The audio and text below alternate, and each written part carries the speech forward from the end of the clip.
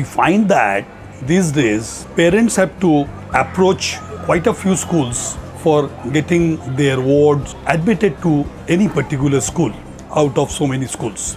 Now they have to go there, collect application forms for admission to that particular school.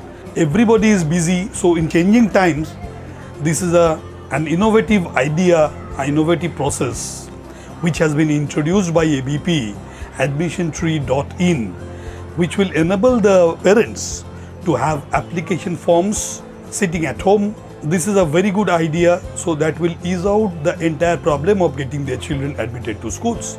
Naturally, for this innovative idea, ABP does deserve a huge praise and appreciation for easing out the entire hassles that the parents face frequently at the time of admission. So I congratulate ABP. I'm also thank them for coming out with such an innovative idea.